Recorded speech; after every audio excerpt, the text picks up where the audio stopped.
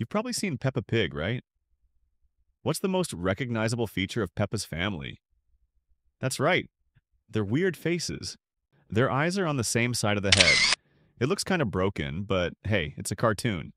As long as the kids like it, it works. But did you know there's a real vertebrate out there with both eyes on the same side of its face? Meet today's star, the flatfish.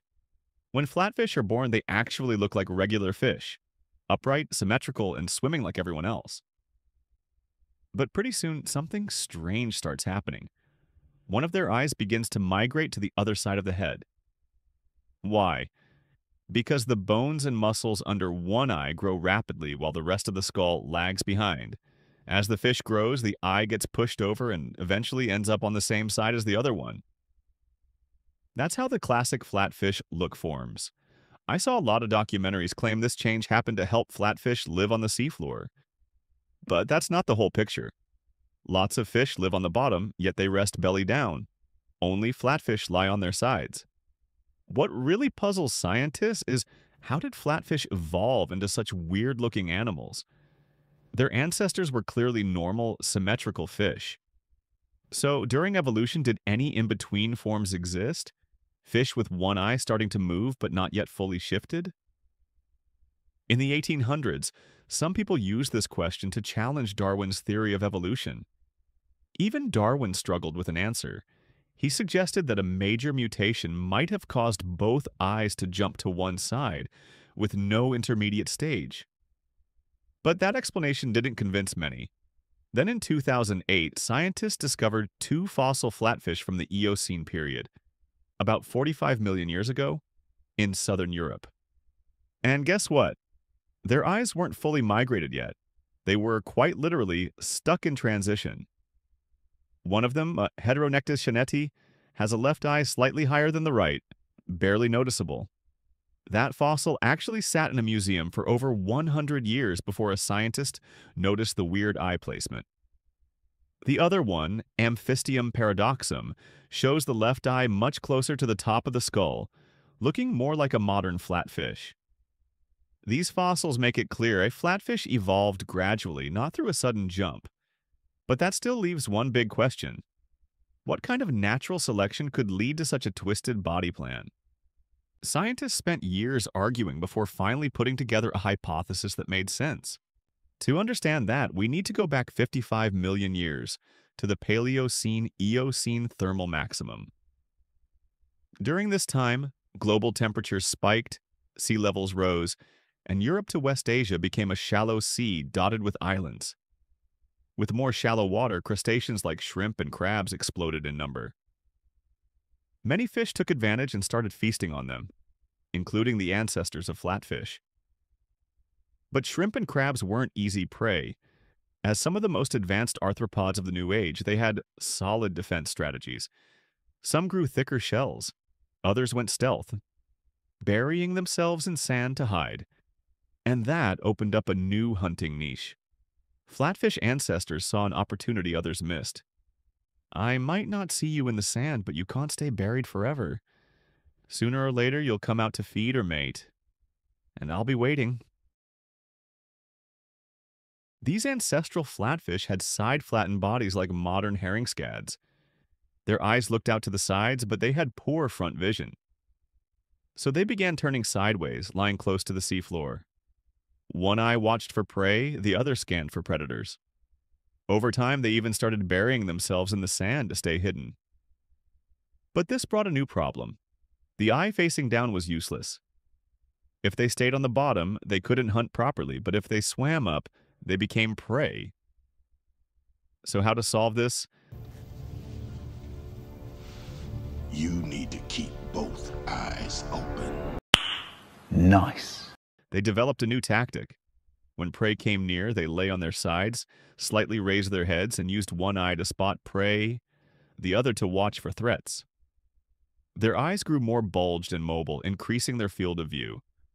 Each eye took on a different role, and over time, the one facing the sand began migrating upward, helping the fish peek without lifting its head too much.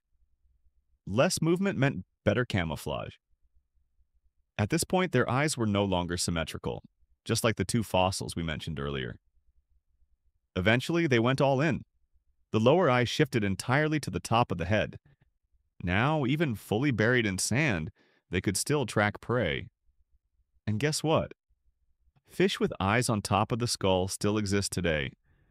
The most primitive flatfish alive, like those in the group Psettodoidae, can be found in warm waters from the Indian Ocean to Indonesia. But this body plan has lasted more than 40 million years. And clearly that means it works. It's good enough to survive. Still, while these so called primitive flounders didn't change much, some early flatfish took things a step further.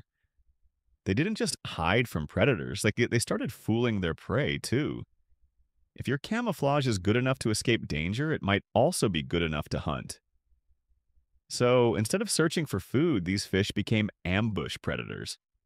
On top of their natural camouflage, they evolved the ability to change colors. Their prey also changed, now they were hunting small, slow-moving bottom dwellers like worms. Since they no longer needed one eye looking up and the other down, and ambush hunting requires precise aim, stereo vision became more important. That's when evolution took the leap. The downward-facing eye fully migrated upward. Both eyes ended up on the same side, and that's how the flatfish we know today were born. Some species barely move as adults, they just lie in wait on the seafloor. Over time, their bodies got rounder and flatter, these became the Pleuronectoidae. Others stayed more active with a more teardrop-shaped body. They evolved into today's Soleoidae. The story seems to be wrapping up here. But I have one more question. Think back for a second. The flatfish we just saw, were both of its eyes on the left side of its face or the right? The answer, some flatfish have both eyes on the left and some on the right.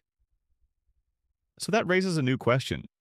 How many times did eye migration happen in flatfish evolution? If it only happened once, why do we see both directions? But if it happened multiple times, why do some flatfish look almost identical, yet have eyes on opposite sides? To solve this mystery, we have to turn to molecular biology. It turns out eye migration in flatfish only happened once in evolutionary history. And according to a 2021 study, the genes that control facial development in fish are surprisingly simple. Just a handful of genetic changes, sometimes just a few tiny tweaks, can cause the left and right sides of the skull to grow at different rates. The direction of eye migration, that's controlled by just a few small DNA segments. In other words, it's very easy for the direction to flip. At this point, you might wonder, if left and right-sided flatfish can arise so easily, why don't we see both types in the same species? Like how humans have both left-handed and right-handed individuals. Here's the twist. It has to do with how flatfish mate. Flatfish use external fertilization, but the male and female have to press closely together and release sperm and eggs at the same time. That only works if their eye placement, and therefore their body orientation, is the same. If one fish is left-sided and the other is right-sided, their reproductive openings won't align, and fertilization fails. So imagine a population of left-sided flatfish. If a genetic mutation causes a few individuals to flip their eyes to the right side, those fish can't reproduce with the rest. Boom. Instant reproductive isolation. From a biological standpoint, that's the moment a new species is born, and these flatfishes with similar body structures but opposite directions of eye migration were likely the ones that suddenly split off on different evolutionary paths. Dramatic, isn't it? A tiny little change and evolution forks into two different paths. That's the beauty of paleontology.